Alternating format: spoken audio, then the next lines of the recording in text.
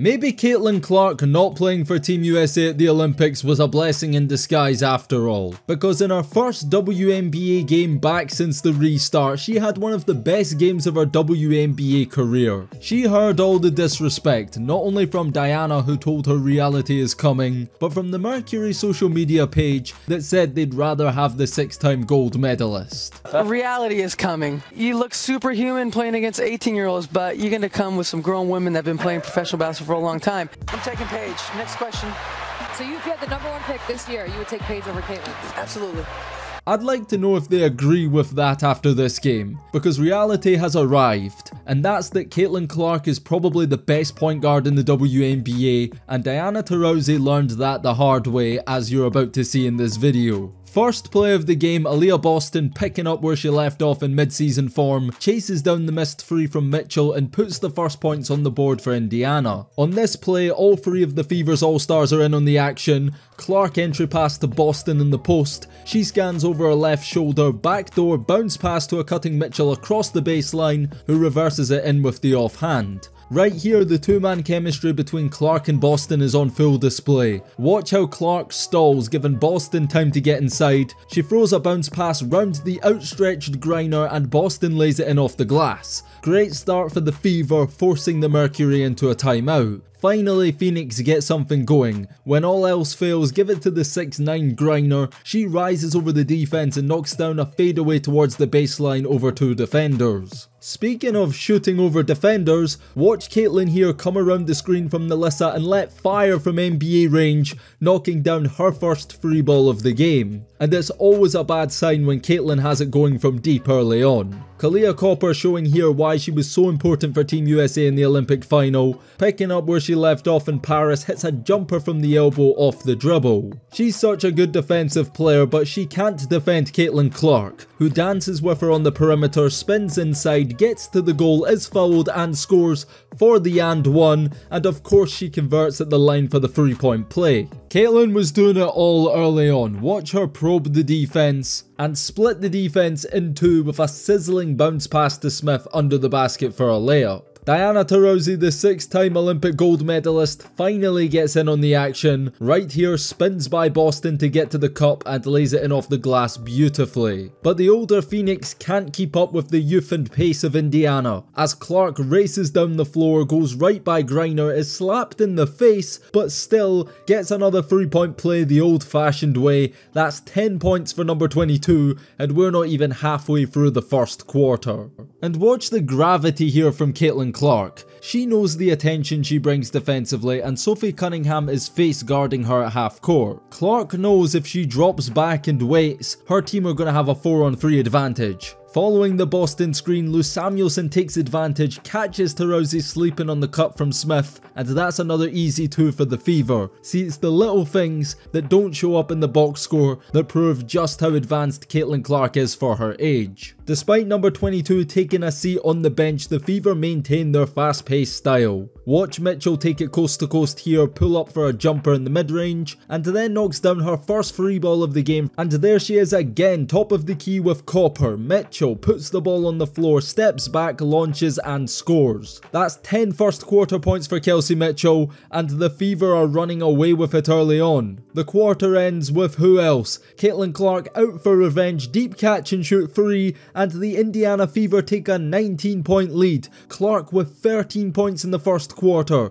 Copper hits a midi at the buzzer, but it doesn't really matter because her team trails by 17 points, and Caitlin Clark's Fever are on fire. She starts the second how she ended the first with another free ball from the same spot. That's three triples from Caitlin early on. She's up to 16 points, absolutely out of this world play from the soon to be rookie of the year. With all the scoring and the free balls, I almost forgot she's the WNBA's assist leader. Watch her pick out NaLyssa Smith in transition with a bullet pass. She finishes through contact and one. Fever lead 41-18. This is annihilation in Indianapolis. and it goes from bad to worse for Phoenix because Clark doesn't slow down. Another bullet pass to Kelsey Mitchell for the layup. This girl could find a needle in a haystack. I'd say that's one of her best passes of the year, but she has that many of them I'm losing track. Even Erica Wheeler is knocking down threes in this game. Fever's lead now up to 28 points,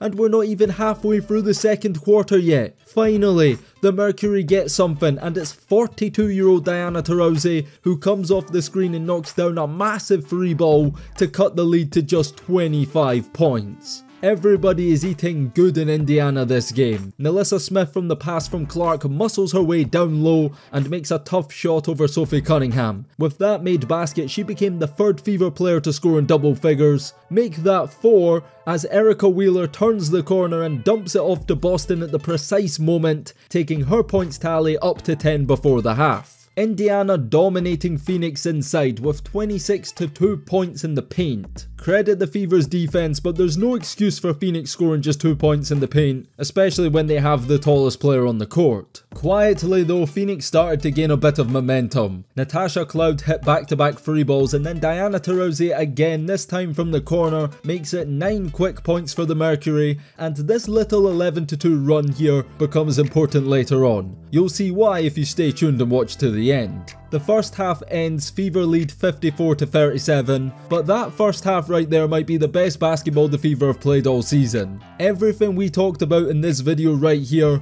about the team playing too slow and not to Caitlin's strengths, the complete opposite happened. Caitlin was allowed to play like her Iowa self at a fast pace, they were outrunning the older Phoenix and taking advantage of their youth. Clark was amazing, 16 points, 4 rebounds and 5 assists in the first half for her. Boston, Mitchell and Smith all contributed, scoring over 10 points each. But it all started with Caitlin, she's the catalyst getting everybody involved and when that three point shot of hers is falling, there's really nobody in the W who can stop her. The third quarter starts and here's when things get interesting. Phoenix immediately address what would have been a huge point of emphasis at halftime, and that's to get easy points in the paint. Kahleah Copper does just that, dribble handoff with Taurasi straight across the baseline for the score. Then Taurasi one-on-one with Caitlin doesn't want the smoke, instead finds Griner inside who scores and one, and all of a sudden Indiana's once 28 point lead is cut to just 12 with over a half of hoops still to play.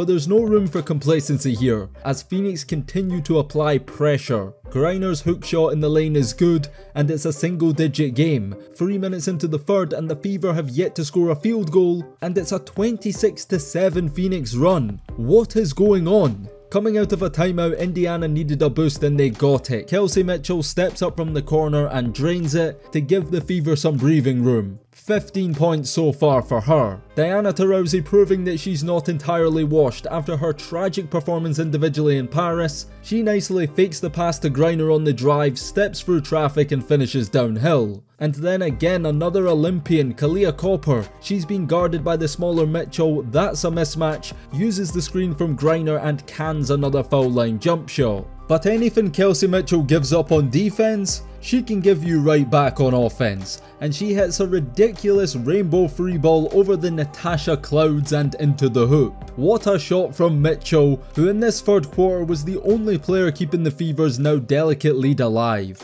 And here things get heated. Kelsey Mitchell and Natasha Cloud get up in each other's faces, tensions are boiling over, some words were exchanged, some light shoving, but the situation quickly de-escalates as enough bodies swarm onto the court to separate them. One thing that this shows was that the game was getting intense, and that was going to make for a great second half. The game restarts, Copper drawing attention on the drive, kicks to an open Sophie Cunningham in the corner, who hits the catch and shoot free. And then again another Phoenix free ball from the same spot and it's a 4 point game. The Fever have fallen apart in this third quarter. Everything they did well in the first half, they did the complete opposite in the third. And the older, more experienced Mercury were taking full advantage to get themselves back in the ball game. Copper gets to the line, makes both and cuts the lead to 2. And then her again, Kahleah Copper from the corner sinks it and the Mercury take the lead. From down 28 they have their noses back in front, an incredible comeback.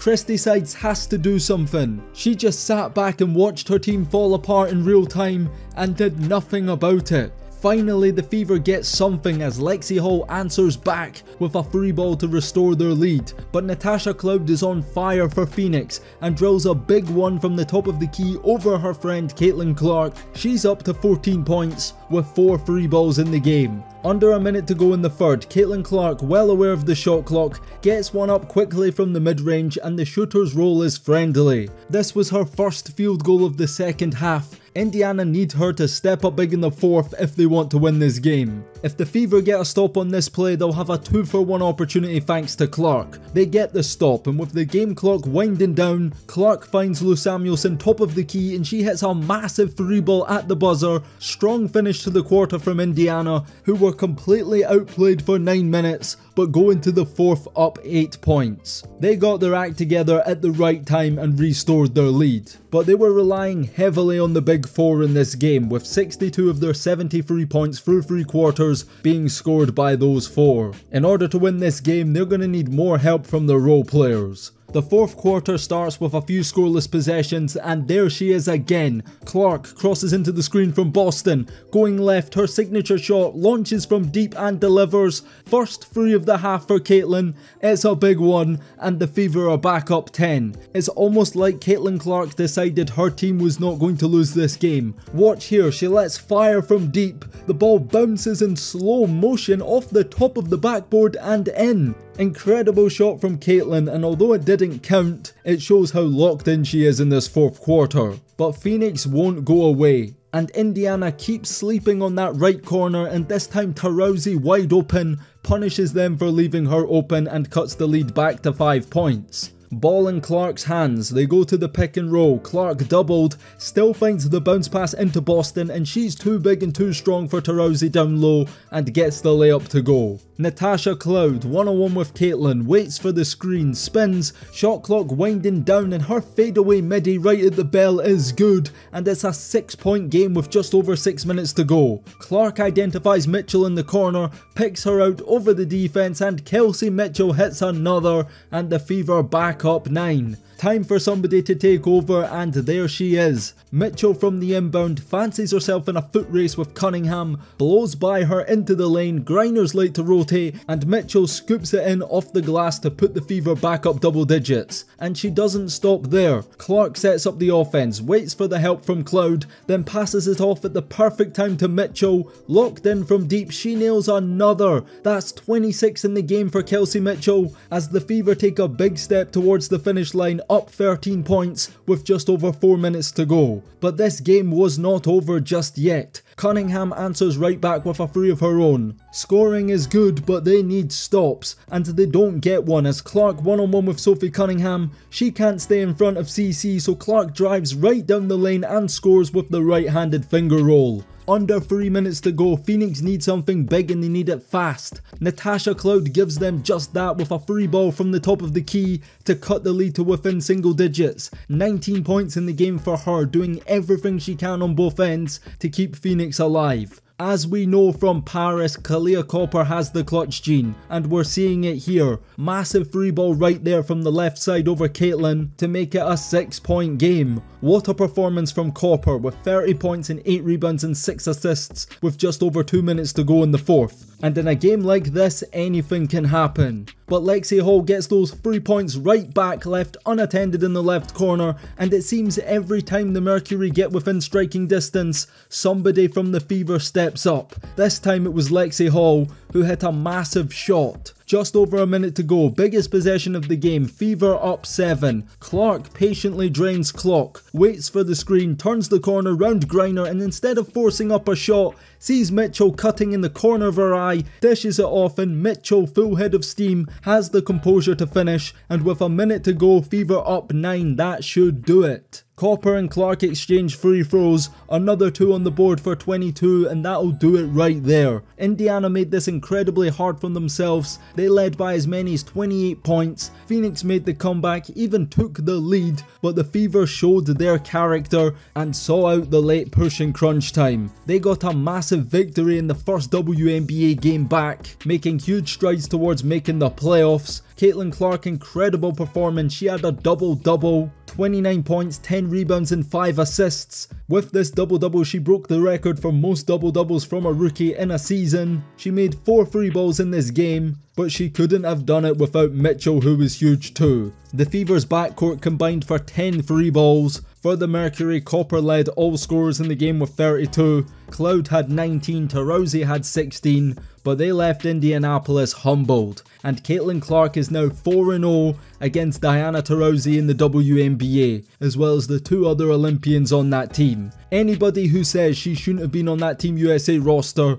is just lying out of their backsides. The Rookie of the Year talk is over with, Clark is clearly the Rookie of the Year, and what we really should be asking ourselves now is if Caitlin Clark is the best point guard in the WNBA, because she's looking that good every game, and the scary part is, she keeps getting better and better all the time. Massive win for the Indiana Fever, they're the 7th seed, started the restart off with a win. They can really make some noise in the second half of the season, and I think they're not only going to make the playoffs, but could even make a deep run playing like this. But what do you guys think? Has Diana Taurasi officially been humbled by Caitlin Clark? Let me know your thoughts and feedback down below in the comments. Is Caitlin Clark already the best point guard in the WNBA? If you've made up to this point in the video and enjoyed, I'm sure you'll enjoy this WNBA video in the middle of your screen, so click that to watch that. And on that note, it's DKM signing out until next time, and peace.